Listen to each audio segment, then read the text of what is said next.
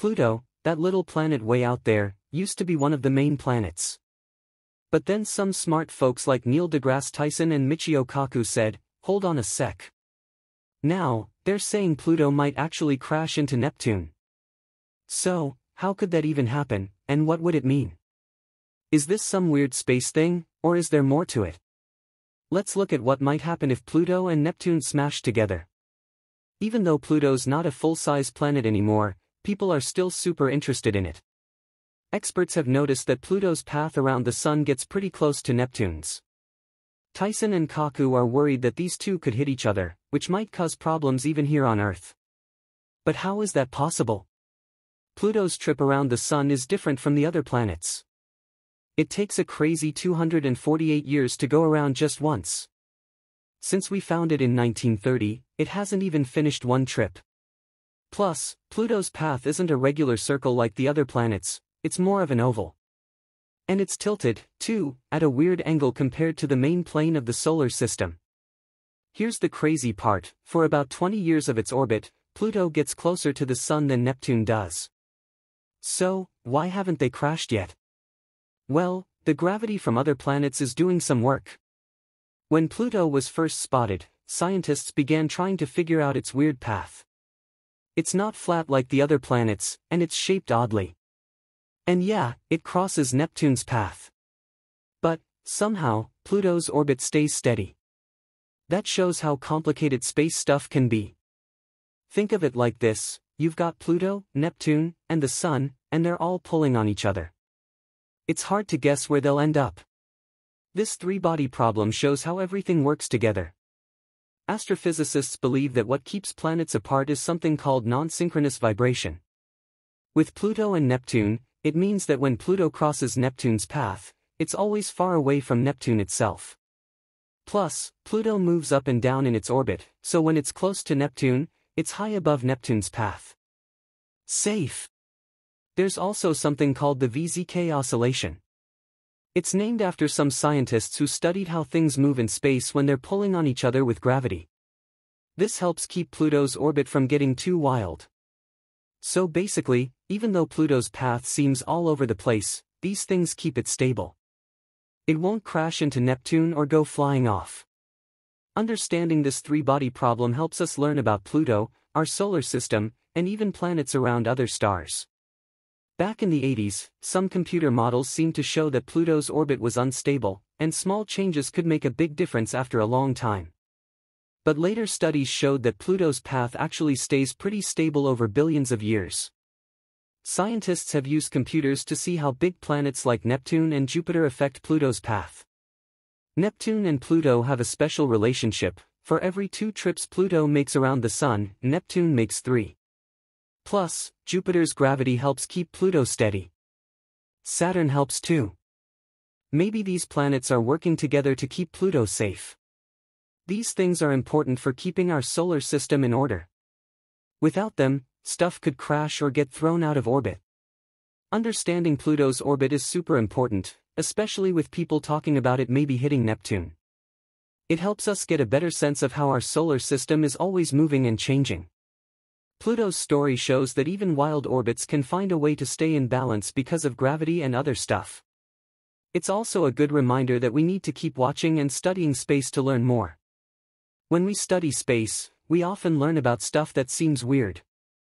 Pluto's orbit is a great example of how crazy things can get.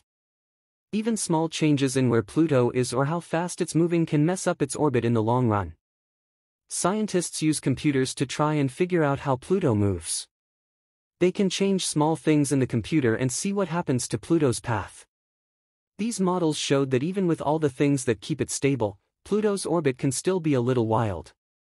But even with that, it stays stable over billions of years. So, Pluto's trip around the Sun has some kind of order to it, even if it doesn't look like it. It's hard to guess what will happen in space, especially with wild orbits like Pluto's. Even our best models can only do so much. They depend on knowing exactly where things are to start with, and any mistake can throw things off. The wild nature of these orbits reminds us that the universe is always changing. We've learned a lot, but Pluto's story shows how much we still don't know. Understanding how the big planets affect Pluto's orbit helps us understand how the whole solar system works. It shows how each planet can change the path of other planets. So, why are some experts worried about Pluto and Neptune crashing? Neil deGrasse Tyson, who is famous for talking about space stuff, has some interesting thoughts on Pluto. He's known for changing Pluto from a planet to a dwarf planet. Tyson says that we changed Pluto's name because we're always learning new things. He sees the crazy orbits like Pluto's as a sign of how much there is still to learn. That's what makes space so cool.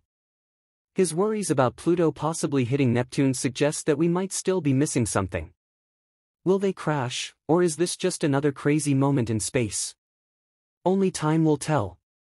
For now, it makes us wonder how much we still don't know about our own solar system. We keep studying because we want to learn more about the mysteries out there.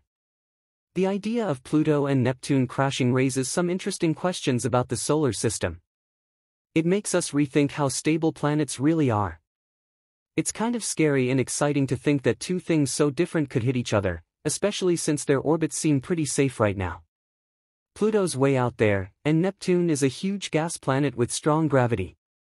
If they did crash, it would change how we understand gravity and how planets change over time. To understand what might happen, we need to think about what Pluto and Neptune are made of. Pluto is icy and cold, with nitrogen ice on its surface and a thin atmosphere. Neptune is mostly hydrogen and helium, with a thick atmosphere. A crash would really mess them up and could create a big show in space. Other planets also play a role. Neptune's gravity is important for keeping Pluto's orbit steady, but it's not the only thing. Jupiter, the biggest planet, also helps keep Pluto from wandering too close to Neptune. Saturn adds to the mix, too. So, it's not very likely that Pluto and Neptune will actually crash. So, Pluto's that tiny, distant planet that used to be one of the main planets, until astrophysicists like Neil deGrasse Tyson said, hold on a sec. Now, Tyson and others are saying there's a chance Pluto might crash into Neptune. How could that even happen, and what would it mean? Is this some weird space thing, or is there more to the story? Let's check out what might happen if Pluto and Neptune actually collided. Pluto is interesting, even though it's now a dwarf planet, experts are still watching it closely. They've noticed Pluto's path around the Sun gets awfully close to Neptune's. Tyson and other scientists like Michio Kaku are worried these two could hit each other, which sounds pretty bad for Earth, right? How could that tiny Pluto ever hit big Neptune? Well, Pluto's trip around the Sun is different. It takes 248 years to make one orbit. Ever since they found it in 1930, it hasn't even gone around the Sun once. Plus, its path isn't a circle like other planets, it's more of an oval. And it's tilted, too, at a weird angle. What's really wild is that for about 20 years of its orbit, Pluto is closer to the Sun than Neptune. So why haven't they crashed yet? Other planets' gravity keeps them apart. People started studying Pluto's orbit right after it was spotted. It was clear it was different from other planets. It crosses Neptune's path. But it's stable. This is how Pluto, Neptune, and the Sun move and pull on each other. This shows how Pluto's orbit, Neptune's orbit, and the Sun's gravity all affect things. The scientists say what stops planets from crashing is how they move. Pluto and Neptune stay away from each other. Also, Pluto moves up and down, so when it's close to Neptune, it's higher up, not in the way. The gravity helps keep it moving smoothly. All these things mean Pluto's orbit is steady. Seems like even though space can be crazy. This helps us learn more about Pluto, our solar system, and other worlds. Back in the 80s, computer models showed Pluto's orbit isn't really that stable. Small changes could make a big difference over time. But these odd things about Pluto's orbit actually keep it steady for a long, long time. Regular checks have helped us understand how Neptune, Jupiter, and Saturn affect Pluto's path. Neptune and Pluto have a special connection. For every two times Pluto goes around the Sun, Neptune goes around three times. This helps keep Pluto stable. Jupiter's gravity also helps a lot and Saturn too. So, it seems like these planets work together to keep Pluto from bumping into things. If things weren't like this, our solar system would be a mess. Planets would crash or get thrown out of orbit. That's why understanding Pluto's orbit is so important, especially with people talking about it crashing into Neptune. It shows how the solar system is always changing. Really, Pluto shows how even weird orbits can be stable thanks to gravity and how planets move. It also shows we need to keep watching and learning about these things to understand our place in the universe. The more we explore space, the weirder things get. Pluto's wild orbit shows that just a little change in where it starts can change its orbit in the long run. Even with all of this, Pluto's orbit stays pretty consistent over millions of years. Even though Pluto's orbit seems pretty crazy, it has some kind of order. It's hard to guess what happens in space, because things can change so quickly. Models help us understand space, but they can't predict everything. It reminds us that we still have a lot to learn about the universe. The gravity of the big planets affects Pluto's orbit, an understanding that helps us understand the solar system.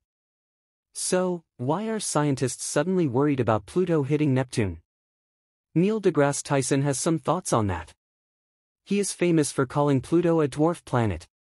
Tyson helps us see that space is always changing, and people are paying more attention to these forgotten parts of space. Tyson thinks that calling Pluto a dwarf planet isn't a bad thing. He views the complexities as a sign of how much there is still to learn. But Tyson's worries about Pluto and Neptune show there might be something else we haven't figured out yet. Will they crash? Or is this just another mystery in space? Only time will tell. For now, we're still curious about how little we know about our own solar system. The potential crash between Pluto and Neptune brings up cool questions about how the solar system works. It makes us rethink what we know about how planets stay in place. It's weird and interesting that these two very different planets could hit each other.